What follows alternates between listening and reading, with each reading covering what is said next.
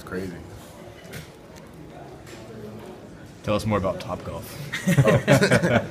So, I don't know. I kind of jammed my thumb, so it was a little hard shooting, but I, I, I'm the best golfer by far, so it didn't really affect me too much. You're the best on the whole team, or you're just best of the guys that you took home with you? I'm probably the best on the whole team.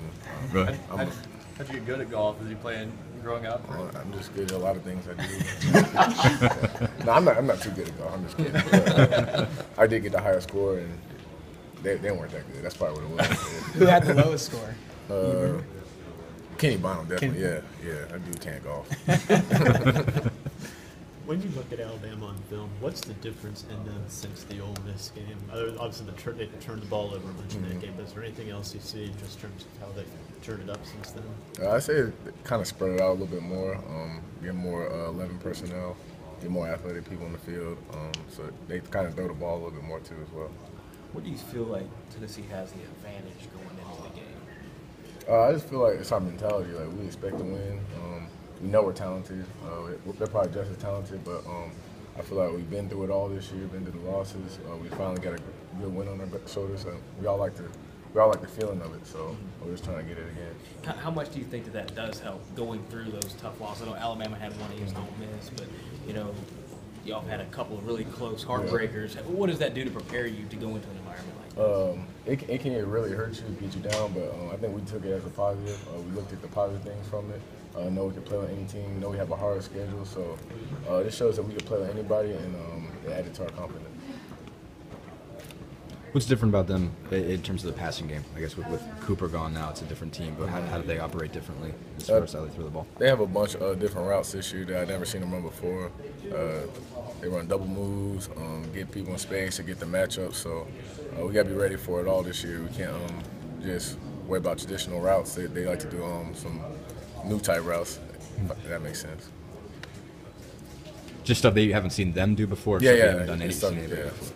Before. Does anybody else usually do that kind of Oh yeah, stuff? yeah. It's like slick uh, West Coast kind of. Do you sense Alvin's particularly motivated for this game, this game, his old team? And what does he, what does he kind of talk to you about? Uh, he's definitely motivated every week. He always brings it every week, but uh, you kind of see, see it in him that he's ready to um, come off this game, and I'm, I'm expecting big things from him. Are you gonna make him stop wearing the elephant necklace this week?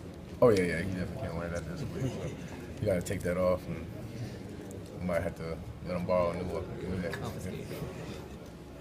What does he say when he talks about Alabama? I mean, how does he sort of remember Uh, that? he's, time he gives us a lot of little insight, like to their offense and stuff like that. Um, there's stuff about the players and stuff.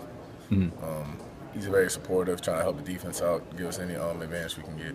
Can't help me. Obviously, they've changed, they've changed coordinators and Oh, stuff yeah. since he's been there. I mean, can he say much? That Oh yeah, and helps, it's or- definitely not about the scheme because their scheme is like totally different. But uh, individual players, he can tell us a little bit more about.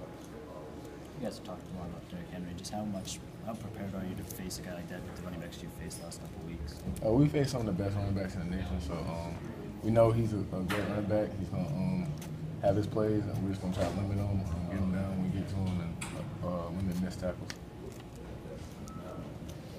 Are things around here different after the Georgia win, or is it kind of just you know the way that it's always? Oh, it's definitely different. Um, it's a lot of positive. Um, it's positive atmosphere. A lot of good things being said. Um, a lot of uh, hope. A lot of um, expectations now that we got to meet this week. So uh, we look forward to getting out there and doing it. How much closer would you say the team is now than it was maybe coming off of that Arkansas loss? Uh, we were always close. We were, we were very close after the losses because we know um, how critical it can get after losses, how um, much blame can be passed around. So I think all the losses got us close, and we finally got the win, you know, that's always good as well. To this point in his career at Tennessee, and with the staff in general, what would you say the, the evolution of Coach Jones as a coach and, and as a mentor has been like since, since he's been here? Uh, he just got to know us. Um, he knows what makes us tick, knows what makes us work um, to our full potential. So he uses that every day at practice, trying to make us better. And also, he just, he just got us um, believing in ourselves as well. Thank you. Thanks, man. Appreciate it, man.